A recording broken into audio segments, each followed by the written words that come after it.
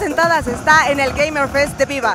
Tenemos la información, unas cuantas entrevistas y todo lo que va a acontecer acá en el Gamer Fest. Que suba al escenario, por favor, el señor Jorge Sánchez, gerente Territorio La Paz, y también Amples Reggiani, gerente de Conexión Viva, porque es momento de hacer el anuncio. Ahora sí. Wow, realmente impresionado con la cantidad de gente que hemos logrado reunir aquí hoy. Como Vive estamos ilusionadísimos porque este primer paso seguramente nos va a dar la previa a grandes anuncios que tenemos de aquí en adelante y sabíamos que teníamos que hacerlo aquí en La Paz. En La Paz con esa gente gamer, con esa gente que vibra con cada juego, que grita con cada kill, que sabe los personajes, que conoce los bailes y que realmente en su ADN está el gamer de Bolivia. Muy contentos de tenerlos aquí el día de hoy han superado nuestras expectativas realmente. Quería agradecerlos. Esperamos 2.000 personas, ya estamos pasando las 8.000.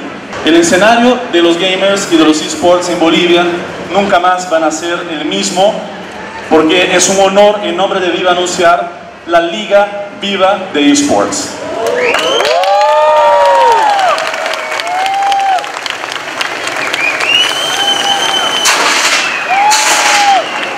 Estas Sentadas es parte de Viva Gamer Fest y nos encontramos ahora con Jorge Sánchez, gerente regional de La Paz.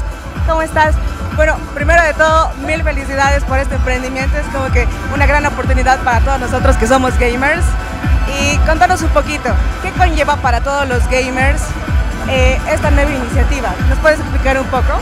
Seguro que sí, muchísimas gracias por estar aquí con nosotros hoy día y me emociona que tú también lo estés disfrutando porque de verdad he sentido esa adrenalina que tú transmites en este momento en mucha gente aquí hoy y de verdad es emocionante, es, emocionante poder haber pensado y apoyado un evento de esta magnitud para que la gente pueda venir obviamente a divertirse, pero hay gente que también está compitiendo y compitiendo en serio.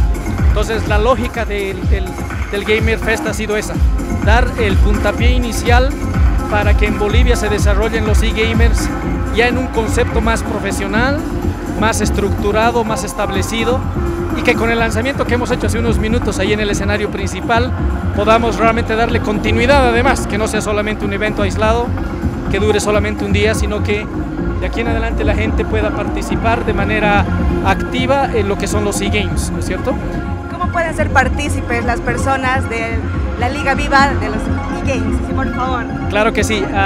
Hoy día hemos hecho el lanzamiento de la Liga Viva de los e-games la gente se puede inscribir de manera gratuita en nuestras redes sociales, en Facebook eh, y obviamente eh, participar de las competencias, seguramente de manera individual o grupal, en los diferentes eh, juegos que van a haber disponibles y competir hasta septiembre. La inscripción es gratuita y vamos a tener obviamente un descarte de, los equipos, personas y tener unas finales así como lo están viendo aquí ahora con los youtubers que han venido a visitarnos para el evento, finales en vivo, transmitidas por streaming y con todo el valor y, importancia que requiere obviamente una final de este tipo de juegos. Este, este evento es a nivel nacional y si bien hoy hemos tenido el privilegio de hacer el lanzamiento en la ciudad de La Paz, porque hemos identificado que el paseño ama esto, está realmente viviendo a flor de piel todo lo que es la competencia de los e-games y entiende además los conceptos claramente de la competición. Hemos elegido hacer el lanzamiento aquí, pero eventos similares se van a hacer a nivel nacional, por un lado, y por otro, eh, obviamente la, competición de la Liga Viva es a nivel nacional. Ah, muchísimas gracias por estar aquí con nosotros. Continuamos con más de Viva Gamer Fest y nos encontramos con... Mauricio Vázquez. Sergio. Gabriel.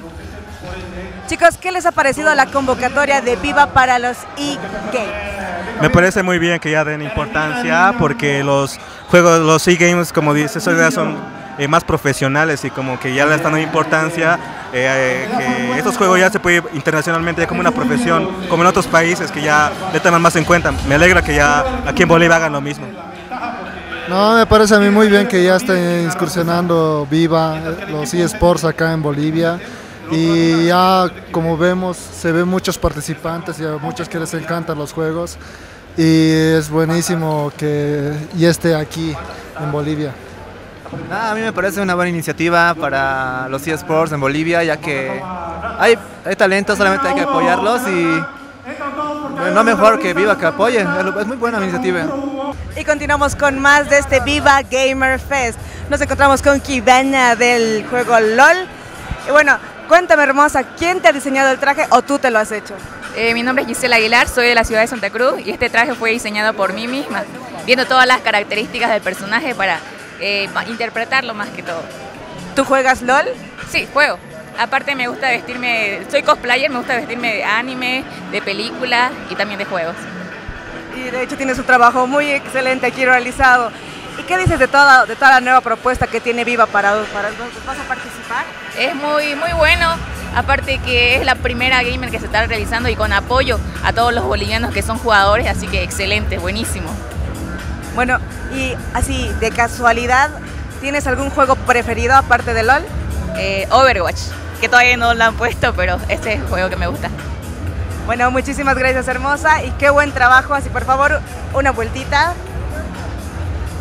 Las cosecitas.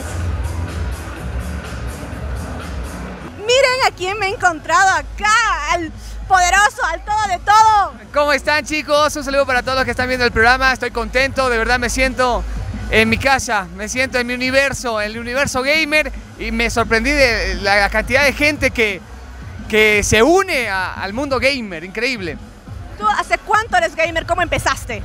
Bueno, eh, la verdad, voy a ser sincero, soy, soy un aficionado, porque dedicarme profesionalmente, ya averigüé tantas cosas que hay en, el mundo gamer profesional, que bueno, me quedé atrás, pero tengo que practicar, entrenar.